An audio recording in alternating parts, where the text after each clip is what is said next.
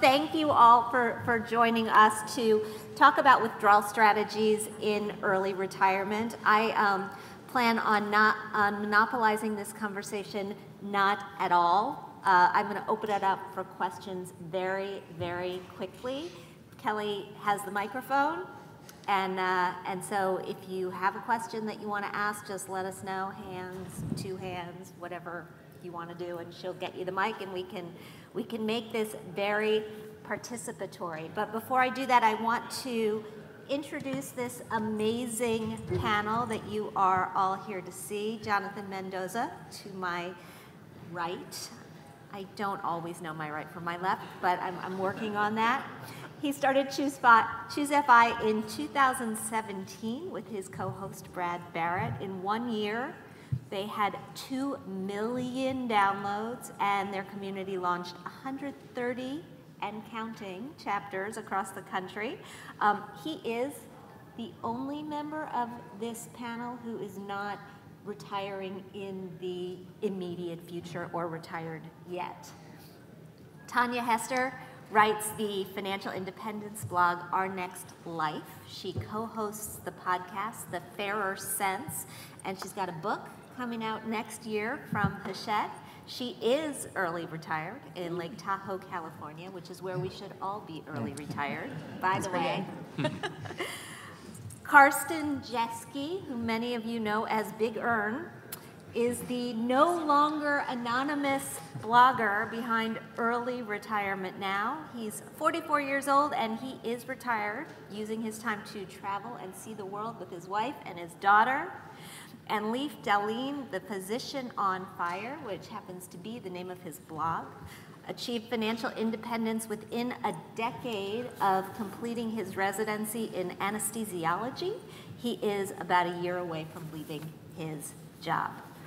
All right, before we get to the technicalities of withdrawal and 4% or 3.5% or however we're going to debate this, let's talk about what early retirement means in actuality. And Jonathan, let me start with you. I mean, I think this is really the only value I can add to this conversation. Everything I know about withdrawal strategies, I learned from the people at this panel. And it, it's truly remarkable, and you need somebody to go down into the weeds, into the details, and dig this out. It's incredibly important information. And to be honest with you, it's more difficult. It's more difficult than what I've done up to this point. But I think it is incredibly important to talk about reframing or redefining the word retirement. Um, you cannot apply what people think of as a traditional retirement for someone 65 years and older to someone that is has pulled this off in their 30s, has pulled this off in their late 20s, which I know individuals that have done that have pulled this off in their early 40s. It is just a radically different frame. And in my mind, I think we just need to be a very aware because I know people that have walked away from work with 900,000, 700,000, 2.4 million, you know, just an incredible sum of money. But you, some people could argue, well, that's not enough. It's not going to make it. You have 60 years. And I promise you, they're not worried about it. They're not worried about it because their worst case scenario is someone else's every day. They can just go back to work. And because they've done this on the backbones of frugality and financial independence, they inevitably have flexibility built, built in to the, this entire worldview that they've built. So, I mean, that's kind of I can I can absolutely through the point of this episode, kind of or through this panel, try to highlight some examples of what this actually looks like. But that's my operating perspective. I'm like I'm not concerned about it, and I think that that is is in and of itself useful. I think that's really interesting because as we saw watching the trailer for the amazing movie that's coming out soon, people do worry. I mean, the the the people who are making the movie were clearly worried. Tanja, as you've gone through this, have there been worries? Um, I would not say there have been worries for us thus far, but I think we are really taking a long-term view. So those of you who read my blog, you know that I was like bristling at a little bit of uh, what my friend Jonathan said, just because uh, we're talking about really long time horizons with early retirement, potentially being early retired for 50, 60 years. Uh, we don't know that Medicare will still be here for us. Uh, for those of us who are in our 30s or 40s, we don't know that Social Security will still be there in its current form. So there are just so many unknowns that I, I think I tend to advocate for a more cautious approach. But that said, um, the funny thing about the word retirement, your original question, is it doesn't even mean what we think of for retirement for a lot of traditional retirees. A huge number of people over 65 are still working. Um, they predict that in the next decade, almost a third of people 65 to 75 will still be working in some way. So the idea of retirement only meaning sitting on a beach and sipping an umbrella drink for anyone is crazy. Uh, that just doesn't apply at all. I think it's more to me really just the freedom to do whatever you want with your time. And if that looks like work, as it does in my case, um, that's fine. And you have what I like to think of as the freedom to fail. So um, I had the incredible privilege this year to write a book that comes out next year. But if it sells zero copies, I'll be okay because I don't need it to do well. And that is really an amazing thing. And so uh, it's, it's to me silly to define retirement based on whether what you're doing with your time looks like work or not. And it's more just about getting to do whatever fires you up every day and having the financial freedom to do that. Karsten, is that the definition that you go by? Uh, yeah, so I mean, obviously, I, I'm not into umbrella drinks anyway, so at any age. So, uh, yeah, I mean, right now I'm, I'm retired, I'm traveling full time with my family and try to. I, I couldn't do this forever. Uh, some people do that for years. Uh, I, I'll try to do that for seven months. Uh, yeah, but eventually I want to, I want to settle down, uh, have a house in the suburbs, send my kid to school, volunteer in school, walk my daughter to school every morning. so these are all things that, that th this is the opportunity cost if you have the full-time job, and th that was always on my mind. I had actually a pretty good job, so I, I never wanted to escape from corporate America. They treated me very well. I, I, earned good money, and it was a very fulfilling job. And it was in finance, right? I can't hate finance too much because that's what I'm doing every day on the blog. Uh, but uh, you see that opportunity cost, and uh, so you see all the other things you can do with your time now, and uh, as, as, I said here and in other places, it's, it's not a single day that I uh, that I missed my job so far, which is scary, scary to admit that. And I hope I hope nobody back from home hears that. So, French TV is here. They okay. may spread the word. um, Leif, as you think about the next year, and I know you're paying, we, we had a conversation ahead of this panel, I know you're paying very, very close attention to the numbers before you actually officially retire. Tell us a little bit about where you are right now. Uh, sure. I discovered financial independence a few years ago now, and, and when I read about it and looked at the actual shockingly simple math, I realized that uh, that shockingly simple math said that I was financially independent uh, right then and there. So I've taken a few years to uh, let that soak in and, and, decide if I'm ready to leave a, a, lucrative and somewhat rewarding but also stressful career uh, as an anesthesiologist. Uh, and we're, we're there now. So I'm, I'm finishing out the next year or so. Uh, I actually helped find my replacement, or he found me through just a very, very neat coincidence. This uh, young physician is a resident in the uh, training program that I trained in here in Florida, in Gainesville, Florida, and is from the small town in northern Minnesota where I'm currently practicing. So he's going to come take a job that I'm going to create by leaving, and it's going to work out really well. Uh, regarding the numbers, um, yeah, we're, we would rather overshoot than undershoot because I, I, wasn't sure I was ready to leave quite when I discovered that uh, FI number that we had it. And then to answer your question about what is retirement, you know, I, I talk about I'll be retiring from medicine. I don't think I'll call myself a retired person. When I started my blog two and a half years ago, I said I'm going to post, yeah, probably three, four times a month until I run out of things to say. And now I post four times a week. And so I'm not going to be retired. I'm not going to feel retired, but uh, it will be a more, more fun, less stressful job, no, no doubt about it. So you refer to it as the shockingly simple math of early retirement. Uh, it's not shockingly simple to everybody. No. So take us, just take us through that, and then we're going to dig into the withdrawal numbers, and I'll ask Karsten to start there. But take us through, take us through the shockingly simple math that you need to early retire. Sure, and I was going to have Karsten just start right off because he's written the 27 post uh, series on that math. If it's 27 posts, 28 it is not now. shockingly simple. No, no. There are some, some ins and some outs, but uh, if you want to try to make it simple, uh, you, you can very likely see your money last 30 years or more if you have saved up 25 times your anticipated expenses in retirement. And that includes taxes and anything else, any kind of expenditure. Uh, he'll talk more about the withdrawal rate. So 4% works out to 25 times. Just you know, 100 divided by 4 is 25. If you want to be especially safe, you might go to 3.5% or 3%, and then you need 28 times or 33 and a third times your anticipated annual spending. So, you know, real quick math, if you are like a fat fire type person, then I'm, i tend to be a little closer to spending more. Let's say you're going to spend $100,000 a year. We're not quite there, but that's an easy number to multiply.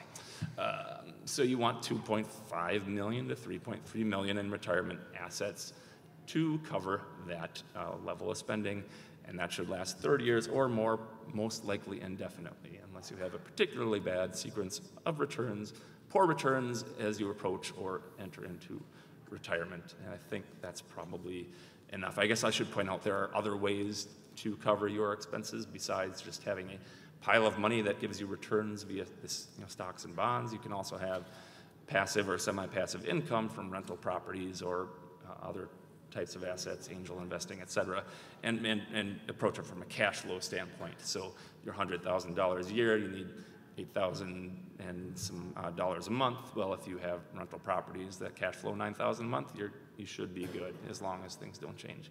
And I've talked more than enough.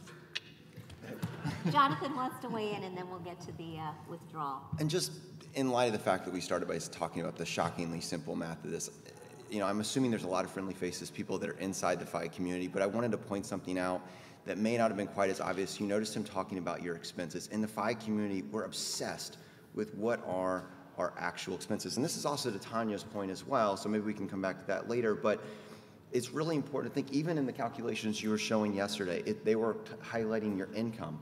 Well, if you're saving 50% of your income, by, by definition, you're not, you don't need to replace your entire income. You need to replace how much your life cost on an annual basis. It is all about the expenses. And when we see constantly these numbers piped, you need to replace your income, you need to replace your income.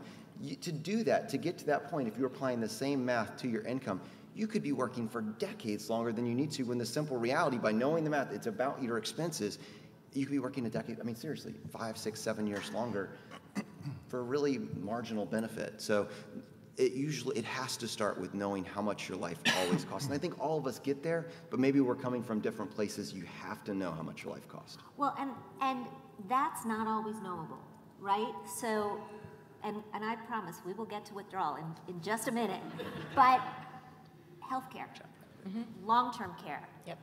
Kids who take six years to get through college rather than 4 mm-hmm. It's not, you know, the amount that, a new roof, mm-hmm. right? The amount that you're going to spend is not always knowable. And Tanja, you talk about contingencies. So let's yep. let's let's get into that and then we're getting to the percentages, I promise.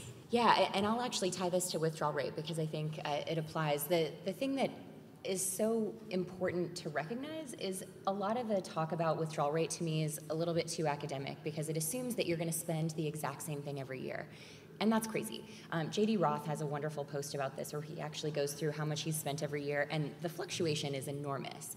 Um, and so the idea that you're going to, you know, people like to use the math very commonly of saying, okay, we're going to spend 40,000 a year, we're going to save a million, and great but the number of years when you'll actually spend 40,000 if that's your target is is probably zero. You know, you look at a blogger like Justin who writes Root of Good, he tracks his spending. They struggle each year to spend what they have allocated, but his kids are still young. He and his wife are still young and healthy. They haven't gotten to their expensive years yet. So that to me is why it's so critical to have contingencies built in and honestly to oversave a little bit. I think Karsten and I, and, and Leif, you two are, are more in the 3.5 kind of range, like a little bit more conservative on withdrawal rates. And what that does is it gives you a little bit of wiggle room for those years that are more expensive. Um, you know, for example, right now, the cost of healthcare, if you're buying it on the exchange, uh, is going up approximately three times the rate of inflation. And the 4% rule is based on all of your expenses tracking with the consumer price index, which is roughly at inflation, not with things that are much, much higher than that. So that to me is a big reason to add a little bit of a cushion, you know, something like adding 10% to your total if you don't have assets. Or, like in our case, we have a house that's a little bigger than we need, that we own free and clear. We could sell, we could downsize, we could rent, we could live in an RV full time. We have options by having that. Um, but things like that, I think, are really critical because the, the truth of the matter is the idea of just going back to work it sounds really good but when you're most likely to run out of money and need to go back to work is either when the economy is doing really poorly and a lot of people need to go back to work uh, and you've also now got a big resume gap or when you're 70 80 years old and then how feasible is that um, so those are really important reasons to me to build in some safety valves. And what that looks like is going to be totally dependent on your plan. But just thinking that through, so you know, okay, what happens if I turn 75 and all of a sudden we realize that we only have half as much money to spend as we thought? Um, a lot of folks like to say this line that you're going to spend less in retirement, but they forget to ask whether that's actually a chicken or an egg question. Most people spend less in retirement because they have less money than they wish they had, not because it's cheaper to live in retirement inherently. Okay, let's do, let's do numbers and then get your questions ready because we are going to open this up. Right. So, so one of the, the, the, key insights that I got from my research was that, I mean, obviously, I, I agree. Can you get a little closer to the mic? I, I, agree with Mr. Money Mustache that saving for retirement is simple, it's shockingly simple. So I would actually suggest to him he changes his title, the shockingly simple math of saving for retirement, not retirement, mm-hmm. because I noticed that uh, you can't extrapolate the simplicity of accumulating assets to decumulating assets. So what I mean by that, for example, when you start saving and you have zero dollars, you, you shouldn't be too concerned about is, is the stock market expensive or not. Actually, one of the biggest favors I ever got from, uh, from the stock market gods was that I started saving right around the peaks. Once in 2000 when I got my first job, and once in 2008 when I got my second job, which was much higher paying than my first job. And you would think, oh, it's a horrible time to start saving, or it's a horrible time to increase your savings, because that was right around the market peak. Well, no, it was not that horrible, because uh, through the market trough, I used do dollar cost averaging. I got, I got really good returns through that. So that sequence of return risk working in my favor. Uh, whereas if you start retirement, you should be a lot more concerned about where you are in the stock market today. We have uh, had nine and a half years, the longest bull market run in history. Equities seem a little bit expensive by whatever measure you take. Bonds seem expensive, right? Yields are relatively low, yields are going up, which puts pressure on bond prices.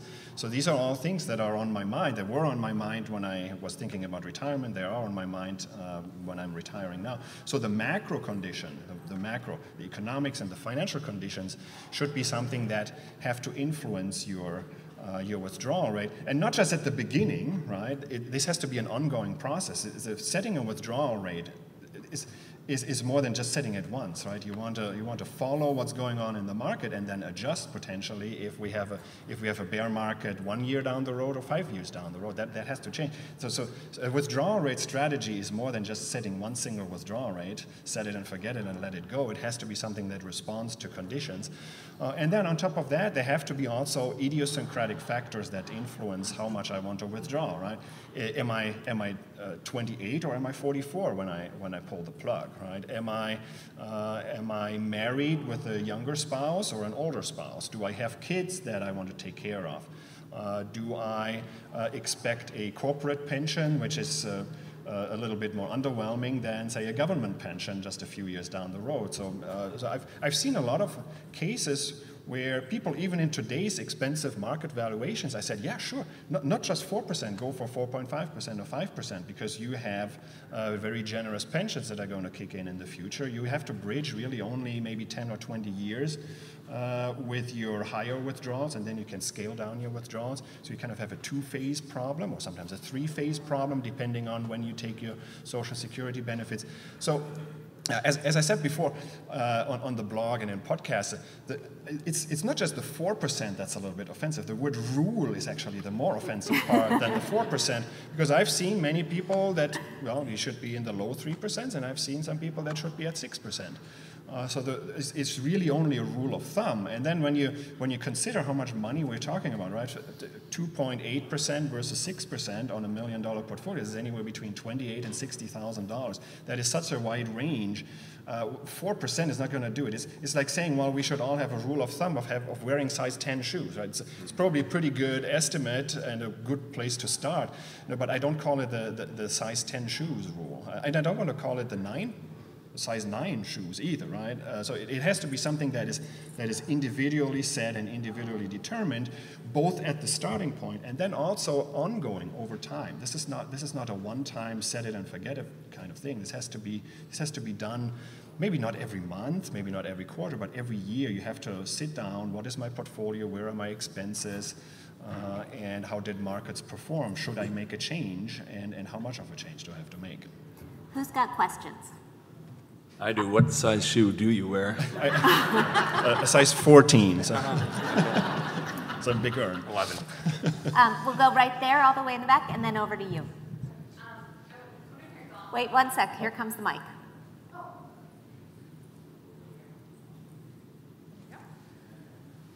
I was wondering your thoughts on cash cushions and um, also uh, the idea of balancing a larger cash cushion with more in bonds and just your thoughts around all that. Uh, I, I, I, like that a lot. I was, I mean, you, you know me because uh, one of some of my earlier posts were very critical about emergency funds, right? And that, well, how can Big Ern say that a cash cushion is not such a bad idea if he's so critical about emergency funds? Uh, so I like the cash cushion because it's almost like a glide path. You you uh, hedge a little bit the risk of uh, of an early equity market drawdown, and uh, so you cushion that. Uh, that prospect of a, um, of, of a, market downturn right around the corner. So it would help you under certain circumstances. It wouldn't help you so much if we had, say, a repeat of the 1970s and 80s, where basically you had a, a 17, 18 year period that was just really underwhelming, then with some really bad equity crashes in between, but they happened so late in the process. Right? You start retirement at age 65, uh, so in, in the year 1965, and the total bottom, the rock bottom, was 1982. You don't have a cash cushion that lasts for 17 years. So, uh, in general, I like them. I think it's good for peace of mind. I have it too in, in multiple forms. I have a little bit of a cash cushion right now, and then I still have a little bit of deferred compensation that I get from my job that I just left in June. So, if I add that, that that's also counted as a cash cushion in, in my accounting model. Uh, yeah, I, I, have that. I like it. Uh, don't go overboard, and you, you will not be able to, to hedge against every single market crash that we, that we could face. How big? Um, so, so right now, I could uh, finance half of our expenses until the year 2021. So. And Go ahead, Tom. Yeah, I'll, I'll say we we have at this point actually almost about three and a half years worth of expenses in cash, uh, which is probably a bit more than yeah, yeah most folks. Um, but we, to answer your question about bonds, we count that in the total allocation of things that are not stock. So everything that's cash, then we do not have in bonds. Um, and bond yields are so abysmal right now, and especially if you're trying to do like the tax stuff and you're going with tax-free bonds, you actually overpay then in the the bad yields for those. So for most people who are retired, um, tax-free bonds are a bad deal, uh, especially if you're not having a super high income. But the thing I would say about cash cushion, for those of you who are curious, is I think that should be the last thing you build up. Um, because to the point, you know, cash obviously you, you, have a huge opportunity risk with you're losing out on stock growth. So do the cash cushion as your very last to-do list item before um, you leave your income, because otherwise you're going to miss out on. Yeah. And my recollection from a blog post you wrote about the cash cushion was that you actually, over the long run, um, you have less money because of that cash cushion, right. because the opportunity cost in those up markets, which are most years, uh, it's more of a uh, psychological benefit and, and being able to ride out those down years. But uh, compared to not having a cash cushion over a 20 or 30 year period, you probably end up with more money without one. Mm-hmm. Right. So again, so my, my cash cushion, it just came about because I have this deferred compensation. I have no choice, and it, it's exactly the same plan that Tanja has, right? Is to do it the very last thing. Uh, don't build it up over 10 years. Mm-hmm. In the back. Hi. Um, kind Tell of a, us who you are. Pardon me? Tell us who you are. I'm Roger Wohlner. I'm a, I, I'm a financial writer, blogger, and uh, financial advisor. And the question I have, and I see, you know, mostly dealing with people that are older than the panelists, how do you account for the continued, well, it's a two part question. How do you account for inflation in general? And then specifically, you know, the medical inflation. I'm sure you've all seen the study that Fidelity does every year with the increasing costs of uh, uh, retiree medical expenses that they do every year. I think it's 280,000 for a couple age 65. How does that factor into your planning? Again, far down the road for, for you folks, but um, age-wise. But how does that come into account? And, and that doesn't include long-term care. And that, right, that does not include long-term care, which brings it up over 400,000, Jean, maybe? Yeah, if you take the gap and you use that money to buy insurance. Right, right. Good point. Thank you. One thing I do want to say on long-term care uh, is something that I think is not talked about often enough in early retirement because I think there's a lot of romantic, uh, romanticization, is that a word? Uh, about uh, kind of alternative ways of living, like tiny home living or RV living or permanent travel. Uh, something worth knowing, and of course this could all change, but Medicare has essentially no coverage for long-term care if you have to go into a nursing home. They'll cover short stays in rehab centers after like you break your hip or something like that. Um, however, they have fairly generous coverage as far as anything is generous in Medicare uh, for in-home care. And so it's a really good idea to set yourself up, even if not in your early retirement stage, but at least in your traditional retirement stage, in a home where you can age in place. Um, that will do a lot to insulate you against future medical care costs. So just one point. In terms of inflation, I do think it's really important to not just do something like follow the 25 X rule, I, I put it in quotes too, um, but to actually build your own model and build in low expected rates of return. So it was really important to us in building out our numbers that all of this work if we only get 2% real returns long term, which is way, way below um, market averages. You know, over time you tend to make about 6% or 6.8% in the S&P 500 after inflation. Um, that's an annoying sound next door. Hello. Um, but we weren't comfortable projecting historical averages because, again, all the unknowns. So I think aiming below averages and making sure that your plan still works is one really good way. I'm sure you guys have things to add. Oh, yeah. Yep. So, so th- that's exactly a concern that I have too, and this is exactly the reason why I don't believe that we should uh, have these simple models where you assume that your expenses stay constant over time. And uh, so I, I would like to have a tool, and I built that tool where I can uh, uh, add additional cash flow needs at certain ages, right? Uh, and uh, there could be, there could be, I could add the gross increase in medical expenses over time that, that I uh, assume. Of course, some people would say, well, you know, my uh, mandatory expenses for medical will go up over time, but there might also be a little bit of cr- discretionary spending where I spend a little bit less. Maybe I spend less on travel, but still, the net effect, I bet you, is going to be is going to be a spending increase. And uh, again, you want to have a way to build this into your calculations. It has to be a customized, individual calculation because some people say, look, I have a family history of, uh, of uh, illnesses uh, at old age, uh, others have not. Uh, so again, this has to be something that is, that is customized. And now the good news is I've, I've done some case studies for, for at least one person that, that brought forward this concern. And it didn't actually make that much of a difference because uh, here's a 44 year old or 45 year old who expects to have astronomically higher expenses at age 80 but age 80 is so far away uh, that so normally people run out of money in early retirement or retirement if you have the bad return shocks right away so imagine you set aside just 50,000 or $100,000 uh, and do some mental account. So you set it aside. Well, this is my this is my medical spending increase for the future, and you let that simmer for 35, 40 years. Uh, it's going to be a humongous amount of money, and it might it might help you to to get through that. So so the good news is that I'm concerned about that too. It actually may not make as much of a difference on your uh, on your withdrawal rate. So that's the good news. And I think a lot of us don't really factor in Social Security uh, into our, you know, at least when you're, if you're using a percent.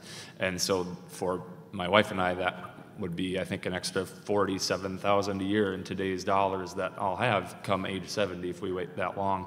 Um, and so that's a big chunk of money.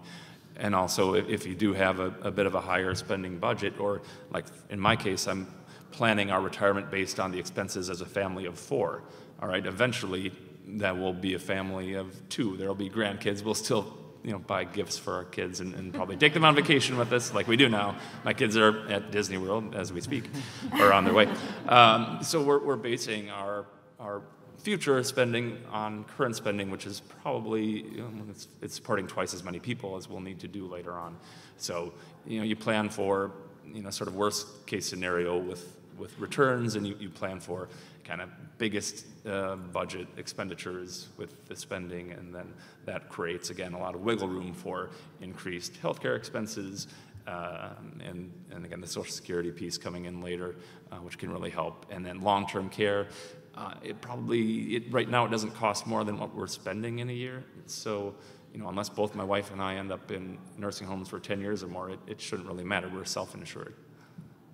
Um, the, the discussion of 2%, planning on 2% returns makes me wonder if there's any place in the math for an annuity, any situation in which you take a chunk of cash and annuitize, or if that's doesn't, if that's not part of the movement. Do you have an opinion? Otherwise, I can go. Go. Um, I think one of the things, I'll try to talk more into the mic. Uh, one of the things that I do think is worth thinking about is thinking of your early retirement and your traditional retirement as different things.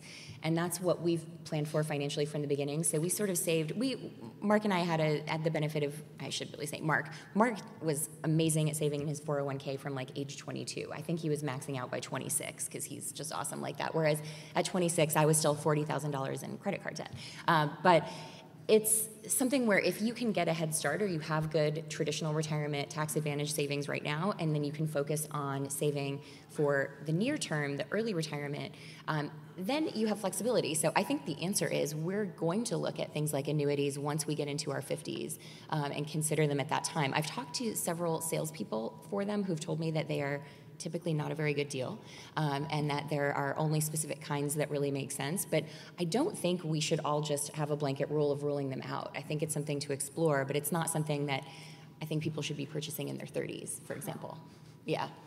Jonathan, did you want to? I do not have thoughts on annuities. So, Ern, did you want? I feel like you want to weigh in. I, I don't have a rule of ruling them out, but it's almost ruling them out because in some way they're the worst of all worlds. They obviously hedge your expenses and your longevity, but uh, and by the way, we are here with a lot of uh, uh, representatives from companies that might be offering them. I would like to see an annuity that is inflation adjusted and not just at some fixed rate that's set, say 2%. I want it to be set to the CPI or, or some uh, generally observable uh, inflation index because you, you do the math and you say, well, imagine I, I, get, a, I get an annuity and it pays me $500 a month. Uh, what is that $500 worth in 40 years, right? If, if we have 1.8% inflation versus 2.2 versus 2.4, uh, you're going to have huge risk of uh, basically inflating away that, uh, that annuity. And uh, again, I mean, especially for early retirees, right, we, we need the long-term power of equities uh, to, to, grow our, to grow our portfolio, to, to sustain uh, expenses over 40, 50, 60 years, whereas annuities, by, by definition, is, is a bond investment. If you look at bond yields right now, uh, they, don't, they don't really look that good. Uh, that said, it could change again, right? In 1997 is, was the first time they came out with TIPS, and some of the TIPS had real yields of 3% and more. So 3% real yield, uh, that looks uh, attractive now, and that could probably almost sustain, say, a 3.5% withdrawal rate even over 60 years. If I can guarantee 3.5% real return or 3% real return, I could say that, well, I, part, of my, part of my portfolio, I'm going to put that into some kind of a tips-based uh, uh, account or, or a tips-based annuity that is inflation adjusted uh, it could become more attractive. But again, today's real yields are just so low that uh, you, you, you, don't get through 60 years. If you want some kind of annuitization, say you want, uh, you want the certainty of, uh, of a payment uh, to deal with sequence of returns, I would almost suggest you do something like a, like a CD ladder over the next 10 years. I, I once suggested it to, to, a blogging friend of mine.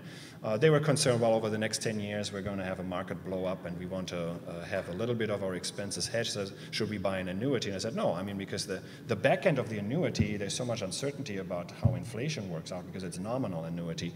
Why don't you just do a 10 year CD ladder? Uh, and then hedge a little bit of that, and then you keep your powder dry and you put the rest of the money in, in stocks and let them live for the long run. I think just sort of the big picture to me takeaway from that is that it's just so important to keep paying attention. It, like as you said, not doing a set it and forget it plan. For those of you who've read Your Money or Your Life by Vicki Robin and Joe Dominguez, the, the first edition of it in the early 90s recommended investing 100% of your money in treasury bonds.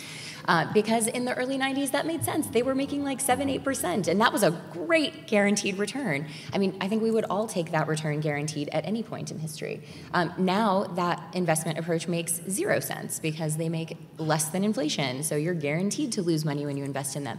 So it's really, I think, just being flexible, but I do think that Karsten's argument that an annuity locks up your money, it's something that I wouldn't make that decision until much later on and looking at kind of where the what the offerings are. You know, I think one of the things that I actually enjoy about the 4% rule of thumb is despite its flaws, it actually does account for inflation. Now, you're pointing out that medical expenses and inflation in, med- in, in the medical industry that's far exceeding that, and, and that's fine. What I noticed, though, is with the vast majority of individuals, their raises year over year don't keep up with inflation. You got a 1% raise last year. Well, thank you. Thank you. I, I just got a pay decrease. Just the fact that the 4% rule of thumb, despite its flaws, actually accounts for inflation in it, just by pursuing this, this path, you're already in a better place. That's like truly remarkable for me. And so, what I came with after listening to Ern and hearing him break it down and show all the flaws both now and when we interviewed him on a podcast was this is a phenomenal starting place. I mean, it actually, like, this is, it just, to be able to find a number, even if it's a size 10 shoe, and then say, you know what, I probably need to scale it down, that gives you so much peace of mind because there's so many people that prey on this fact that you need way, way more than you think you need. Um, and so that, that is one thing. The other thing is going back to Tanja's point about separating it out between early retirement and traditional retirement. This is what I think we just need to call the paradox of financial independence. Just the fact that you're pursuing FI at such a relatively young age gives you so much power. And it's unfair how money flows to the people that don't need it. I mean, you see that across the board, but think about what that means for your life when you go to your boss and you realize that they need you more than you need them Think about what that does. Willie's working, he's location independent right now. He was able to pull it off because they needed him more than he needed. It works that way across the board. And so when I talk to people in our community and I get their stories, I look for how they've leveraged that. And inevitably, I'm able to get to that point that they were able to get bandwidth. Long before they reached financial independence, they were able to design a job that they were comfortable with. Where maybe their peers are miserable and looking for the exit, but they, they have that ostrich strategy because they don't know exactly what the next step is these people were able, they're outliers, but they're not outliers when you put them in a group, you realize that there's a common thread, and that common thread is a strong, strong financial ground game. So you started at 4%, Leif, you're at 3%, and, and that's where you're comfortable. Can you talk about that? But also, we've been dancing around the fact that right now, the markets have been just roaring ahead for so many years that it's frightening. Um, how do we handle the numbers on withdrawal at this particular time in the market cycle? That's, that's a great question. And, and, and again, I have talked about oversaving and working for uh, three or four years beyond the point where we had our baseline financial independence. And that is one of the worries. You know, one of the reasons we have more money than I expected to have at this time is that the markets have performed better than I would have expected them to perform over the last decade. Um, I do want to touch really quickly on annuities. Um, really, one of the best uh, annuities you can, you know, quote unquote, buy is delaying Social Security to age 70 if you're in good health and don't need the money at age 62 or 66 or 67, uh, because you, you get a, a bigger return for the amount of money you're giving up by not taking it at your full retirement age or early. Um, and then also an annuity is really just betting the insurance company that you're going to live longer than their actuaries think you're going to live right? So if you are uh, a healthy, you know, uh, person at age 70 and your family members have lived well into their 90s or beyond, uh, like a single premium immediate annuity at SPIA might make really good sense. You might actually win that bet because if you live to 99 or you know something like that or beyond, you're, you're going to end up with more money than you would have probably just leaving invested on your own. Um, but I'm sure other people have comments on this frothy market. Or, or the thing I just said, maybe. No, I actually would like um, Karsten to comment because you did the analysis, right, that showed that early retirees are more likely to have a bad sequence. Because the, the idea is most people who traditionally retire uh, peg it to age or maybe health status, but it's, it's typically unrelated to market performance or economic cycles. You retire at 65, 63, whatever it is, you get sick, you know.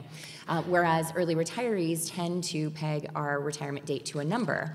And because you think about it, everybody's likely to hit that number around the same time. We have these clusters. So, anyway, I'm, I'm repeating your great work. Right, okay, thank you, thank you. So uh, that was an old blog post of mine, and I, I, looked at, so if people follow this simple math. A little bit closer. So if people follow this simple math, Mr. Money Mustache, you save until you reach a certain uh, multiple of your expenses, uh, then when would they retire? Nobody retires at the market bottom, right? Uh, and uh, so when you, when you look at studies like the Trinity study and they calculate the average failure rates, uh, they would consider all of the different starting points, even the ones that occurred at, at very poor market conditions, when nobody like us would have retired, unless it's, say, it's an involuntary retirement and you lose your job, and uh, th that's just when you pull the plug. But more likely, uh, it would be that we would all be clustering right around the market peak. So that would, uh, again, so don't look too carefully at the Trinity Cluster. study and the, and the, yeah, exactly. so don't look too carefully at the Trinity study and look at these unconditional probabilities. We have to do the uh, probabilities conditional on A, uh, we had good market performance for the last 10 years, uh, and we might all retire around the market peak.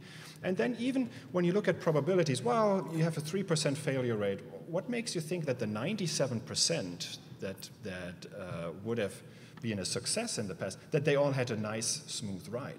They didn't, right? There were a lot of cohorts that uh, when you do the math and you look at the historical simulations, they would have made it over 30, 40, 50 years, but it was one scary hell of a ride along the way. Uh, and uh, uh so I compare that to imagine we take an airline and we call it the Trinity Air uh, in honor of the Trinity study, and they have a kind of a spotty safety record, and then 3% of the planes crash.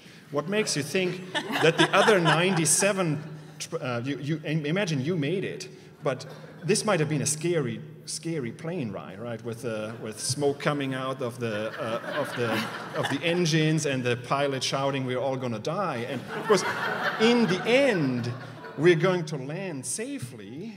And the Trinity study says, oh, this was a success. But no, it was, it was not a success. It was scary because you might have started retirement maybe in 1972, and uh, that was actually a good year where the 4% rule would have worked. But 10 years into your retirement, we were in 1982, and everybody thought, uh, we're going to run out of money. Stocks are down, stocks are dead.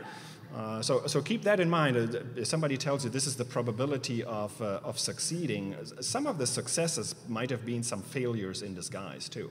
That's a really, really good point. Roger, I know you have another question, and then I'm going to open it. We'll go, we'll go right to you after, and, and um, if there are a couple more, we can take them, but we're going to run out of the clock. So go ahead. You, you were actually talking about it, but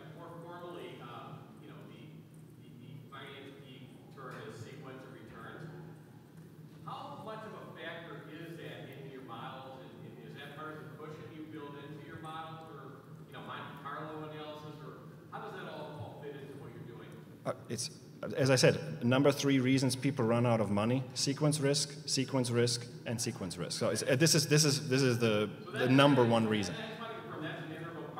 right.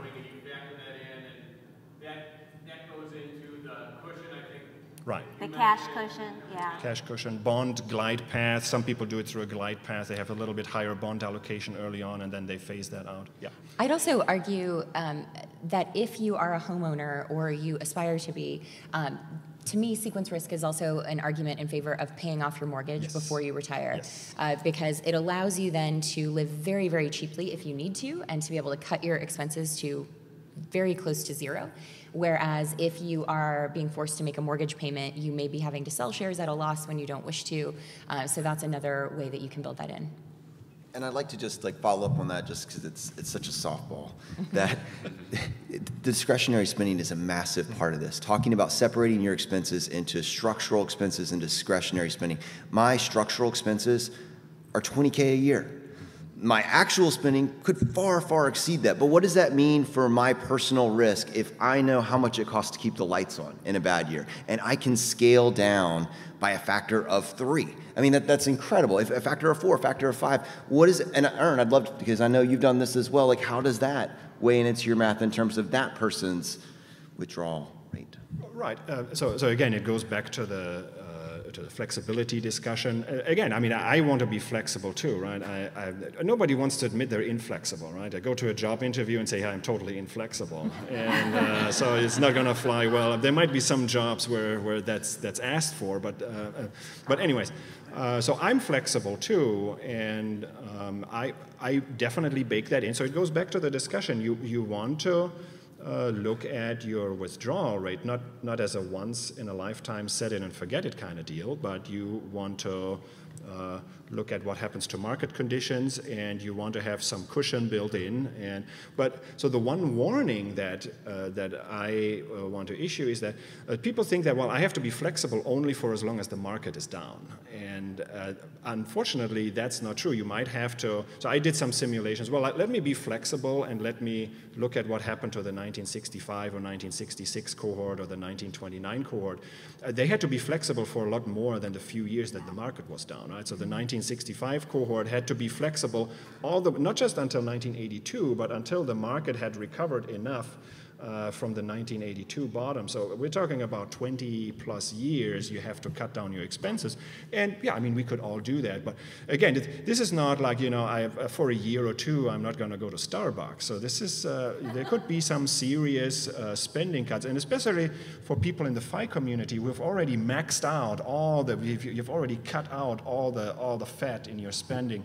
Uh, and then you retire and you set your withdrawal rate too high, and then you have to reduce it from there. I mean, a lot of us, we are probably, we have a budget higher than Mr. Money Mustache, and well, my, my option is, well, if it doesn't work out, then I can cut down to Mr. Money Mustache, and mm-hmm. I'll, I'll, still be as happy as Mr. Money Mustache, which is not so bad. Absolutely. So, I want to I wanna take this question right here. You, yes. I was curious, um, Leif touched on it a little bit. Um, but how you factor in changes in your family situation. So, hmm. uh, kids moving out, going from a family pl- health plan to a single health plan, is that a factor that you take into consideration, or is this um, just worst case scenarios? Yeah, I guess my answer is same answer I've given a few times, having having the cushion, you know, having extra. Um, most of the ones that you described and the ones that we would anticipate will be uh, changes that will benefit our budget. Um, but there can obviously be changes that uh, are, go the opposite way. You know, for example, my kids are um, almost eight and now 10. And so in five years, they'll start to learn to drive, and then they'll go on our car insurance, and maybe they'll crash a car. You know what I mean? So there are going to be uh, additional expenses later on. Uh, one thing I've looked at is we talk about financial independence as being maybe you know 25 or 30 times your annual spending and i broke that down like jonathan was talking about into my like core expenses of about for us it's about 40000 a year uh, versus discretionary you know fun money for disney world and everything else of maybe 30000 a year and I call that financial independence, where we have our multiple of 70,000 a year.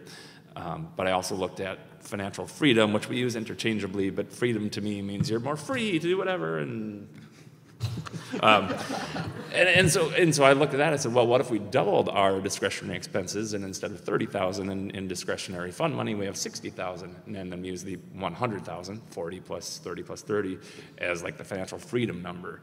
Um, and we're, we're kind of approaching being there now. So whether discretionary expenses are more travel or, you know, more restaurants or you know, more you know, nicer cars.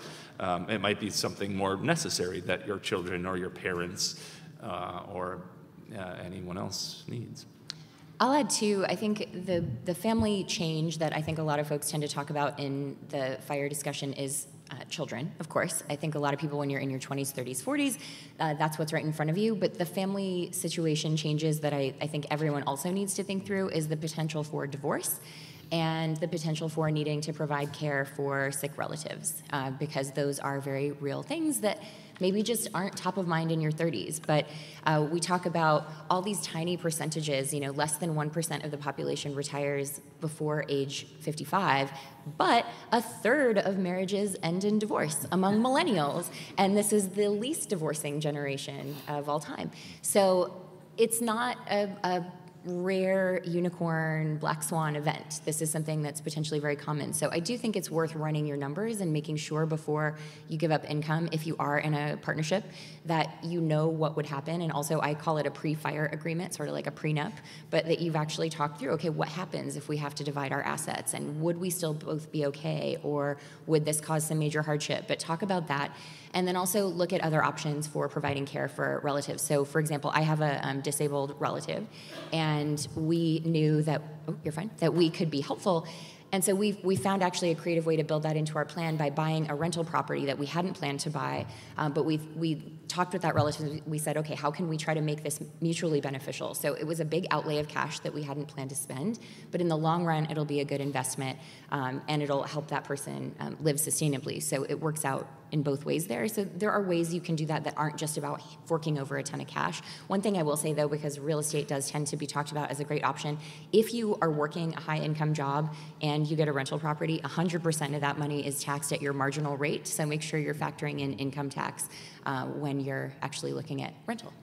Fabulous. And we are going to leave it there because I know that you all have next sessions to get to. Jonathan, Tanja, Karsten, Leif, thank you so much. You guys are Thank you, Jean. Thank you.